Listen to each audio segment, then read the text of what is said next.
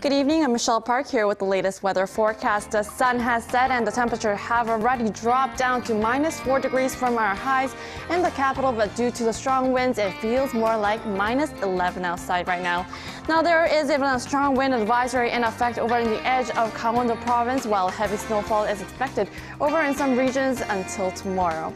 And uh, the snow will get heavy starting tonight in some regions with the lows at minus 4 degrees in the morning tomorrow, uh, which will get colder throughout the rest of the week, uh, going down to minus 7. And to our readings for tomorrow, so we'll start off the Wednesday morning at minus 4 before reaching up to 1 in the afternoon. Meanwhile, the southern cities such as Daegu and Busan will top to 6 and 9 degrees. Now moving over to other regions, Jeju Island tops to 10 while Dokdo hits 5 while Mount will be getting lower at minus 12 degrees. Well, that's all for now. I'm Shaw Park and have a wonderful evening.